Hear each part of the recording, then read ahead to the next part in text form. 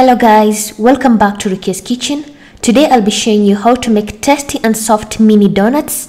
If you haven't subscribed to my channel, please kindly do so you don't get to miss any of my videos each and every week. Then stay tuned and enjoy my recipe.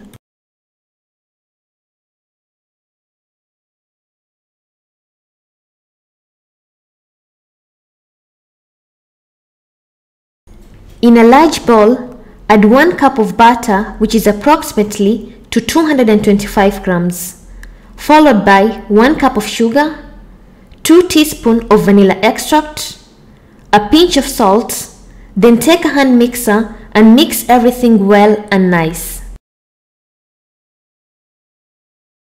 Continue mixing your butter and sugar for approximately 2 to 3 minutes.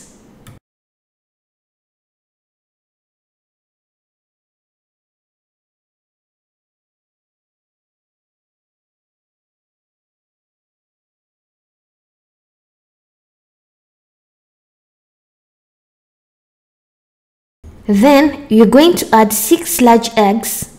Add 1 egg at a time while mixing till you're done with all eggs.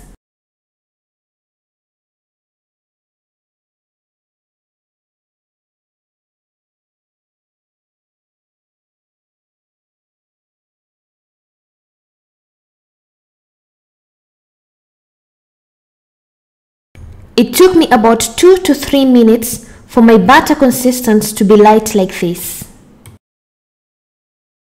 Then you're going to take a spatula, give a quick mix and add 1 tablespoon of baking powder and continue mixing. Followed by 2 cups of wheat flour, add a bit by a bit while mixing till everything is well mixed and nice.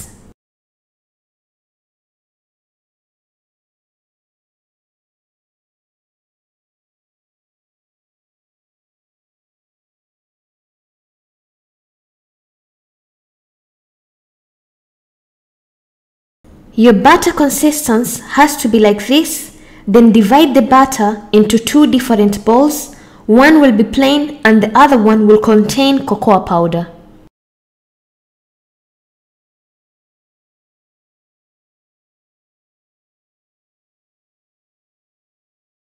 In one of the batter, you will add 2 tablespoons of cocoa powder and mix it well and nice.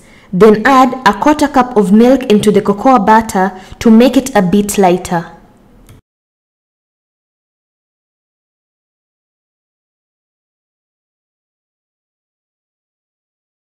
The consistency of the cocoa batter has to be like this, so you'll be having a cocoa batter and a plain batter.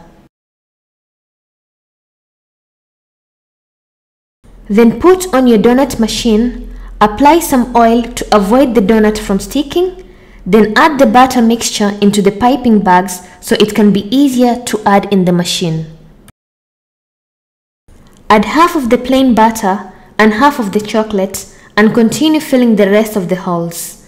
Make sure you don't put much cause the machine won't close properly and the donut won't have a nice brown color.